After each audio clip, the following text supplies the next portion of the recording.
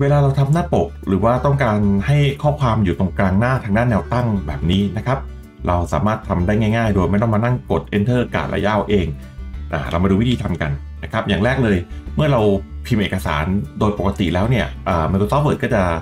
เอาข้อความไว้ทางด้านบนอย่างที่เห็นในภาพนะครับ ถ้าเราต้องการให้ข้อความอยู่ตรงกลางทางด้านแนวตั้งให้มาที่ Layout ฮะ มาที่ Page Setup จากนั้นมาที่แท็บ Layout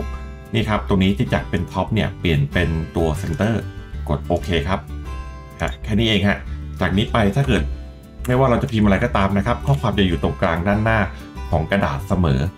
หวังว่าจะได้ใช้ประโยชน์จากเทคนิคที่มาฝากกันครับ สวัสดีครับ